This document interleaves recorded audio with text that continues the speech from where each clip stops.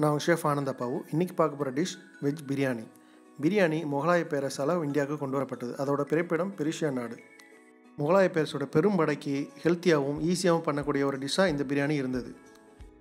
அதுபோல் ஒவ்வொரு நாடும் அவங்கவுங்க வாழ்முறைக்கு ஏற்ற மாதிரி மாற்றிக்கிட்டாங்க இன்றைக்கி நான்கு பேர்த்துக்கு தேவையான அளவு பார்க்கலாம். பாசுமதி அரிசி நான்கு கப் காலிஃப்ளவர் கொஞ்சம் சால்ட் தேவையான அளவு பிரியாணி மசாலா இரண்டு ஸ்பூன் மட்டன் மசாலா ஒரு ஸ்பூன் சில்லி பவுடர் ஒரு ஸ்பூன் இஞ்சி பூண்டு விழுது இரண்டு ஸ்பூன் பிரியாணி இலை அன்னாச்சி பூ பட்டை மிளகு சீரகம். சிறிதளவு பீன்ஸ் கேரட் நறுக்கியது தக்காளி இரண்டு எண்ணம் அரை கப் புதினா அரை கப் தயிர்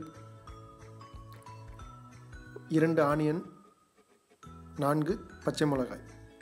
இப்போ இந்த பிரியாணியை குக்கரில் பண்ண போகிறோம் குக்கரில் கொஞ்சம் தேங்காய் எண்ணெய் விட்டு அதில் அந்த பட்டை கிராம்பு எல்லாத்தையும் போட்டு வதக்கிக்கலாம்.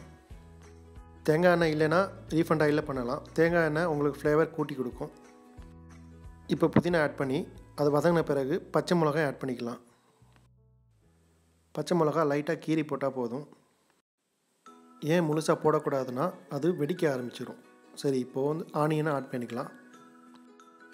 ஆனியன் நல்லா கோல்டன் ப்ரௌன் வர வரைக்கும் நல்லா வதக்கிட்டு அதில் ஜிஞ்சர் காலை பேஸ்ட் ஆட் பண்ணிக்கலாம். டிப்ஸ் வந்து ஆனியன் சீக்கிரம் வதங்கிறதுக்கு கொஞ்சம் உப்பு போட்டு வதக்கினோம்னா சீக்கிரம் வதங்கிடும் இப்போ ஜிஞ்சர் காலிக் பேஸ்ட் ஆட் பண்ணியாச்சு. அது நல்லா ரா ஸ்மெல் போகிற வரைக்கும் நல்லா வதக்கிட்டு அதில் டொமேட்டோ ஆட் பண்ணிக்கலாம். எப்போவுமே ஒரு டிஷ் பண்ணும்போது டொமேட்டோ ஆட் பண்ண உடனே நம்ம வந்து மசாலா சேர்ப்போம் இல்லையா? அப்போ வந்து ஃபயரை வந்து லோ ஃபயரை வச்சுக்கிட்டு நம்ம மசாலா ஆட் பண்ணோம்னா அதோட கலர் சேஞ்ச் ஆகாமல் இருக்கும். மசாலா ஆட் பண்ணி பிறகு நீங்கள் ஃபயரை திருப்பியும் ஹையில் வச்சு குக் பண்ணிக்கலாம். இப்போ ஒன் பை ஒன்னாக நம்ம எடுத்து வச்சுருந்த மசாலாவை ஆட் பண்ணிக்கலாம். இப்போ இந்த பாசுபதிக்கான அளவு தண்ணி வந்து நம்ம நாலு கப் எடுத்திருக்கோம். அதனால் ஆறு கப்பு ஊற்ற போகிறோம் ஒன்றுக்கு ஒன்றரை. இதுதான் கணக்கு. ஸோ இன்றைக்கி நம்ம நாலு கப் எடுத்திருக்கோம். அதனால் ஆறு கப்பு ஊற்ற போகிறோம் இதுவே நீங்கள் பொன்னி அரிசியாக இருந்தால் நாலு கப்புக்கு எட்டு கப்பு தண்ணி ஊற்றணும் நம்ம வந்து அரிசியை முப்பது நிமிஷம் ஊற வச்சுருக்கோம். எப்போவுமே அரிசியை வந்து ஊற வச்சு குக் பண்ணால் சீக்கிரமும் குக் ஆகும். நல்லா சாஃப்டாக இருக்கும்.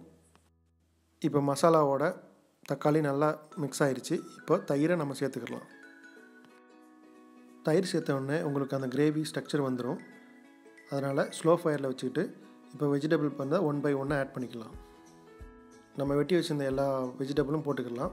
இது கூட சோயாபீன்ஸ் போட்டால் இன்னும் அருமையாக இருக்கும். இது குவாரண்டைன் டைம்னால நமக்கு கிடைக்கல. அதனால் நான் யூஸ் பண்ணாமல் இருக்கேன். எல்லா வெஜிடபிளும் மிக்ஸ் பண்ணி நல்லா குக் பண்ணிவிட்டு இப்போ நம்ம எடுத்து வச்சுருந்த தண்ணியை ஊற்றிடலாம் இதில். நம்ம அளந்து வச்சுருந்த தண்ணியை இதில் ஊற்றிடலாம் தண்ணி கொதி வர வரைக்கும் வெயிட் பண்ணிக்கலாம்.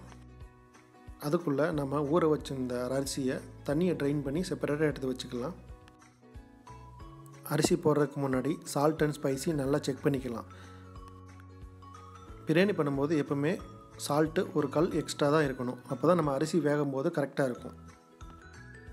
பிரியாணியில் சால்ட்டு கம்மியாக இருந்தாலும் அதிகமாக இருந்தாலும் திருப்பி சேர்க்குறது ரொம்ப கஷ்டம். அதனால் சால்ட்டு நல்லா பக்குவம் பார்த்து போட்டுக்கலாம். இப்போ சால்ட் அண்ட் ஸ்பைசிலாம் செக் பண்ணியாச்சு. எல்லாம் பர்ஃபெக்டாக இருக்குது இப்போ அடுத்தபடியாக இதுக்கு மூடியை போட்டு இரண்டு விசில் விட்டால் போதும். பாஸ்மதி அரிசினா. இதே பொன்னி அரிசியாக இருந்தால் நாலு விசில் இல்லாட்டி அஞ்சு விசில் விடணும். ரெண்டு விசில் அடித்து முடித்த உடனே இறக்கி வச்சு அதை ஆவி போகிற வரைக்கும் வெயிட் பண்ணி அதுக்கப்புறம் திறந்தால் போதும். குக்கரில் விசிலை திறக்கிறதுக்கு முன்னாடி லைட்டாக தூக்கி பார்த்து அந்த ஏர்லாம் ரிலீஸ் ஆயிடுச்சான்னு செக் பண்ணிவிட்டு அதுக்கப்புறம் தான் ஃபுல் விசிலை எடுக்கணும். அவசரப்பட்டு எடுக்க வேண்டாம். அதனால் நல்லா ரிலீஸ் ஆன பிறகு ஓப்பன் பண்ணி பார்க்குறேன். இப்போ நான் அந்த குக்கரை ஓப்பன் பண்ணிட்டேன். எவ்வளோ எவ்வளோ அழகாக இருக்குது பாருங்கள் நல்லா நீல நீளமாக பாசுமதி அரிசி பெர்ஃபெக்டாக வந்திருக்கு. பாஸ்மதி அரிசி ரொம்ப ஸ்மூத்தாக தான் ஹேண்டில் பண்ணணும். இல்லாட்டி உடையும்.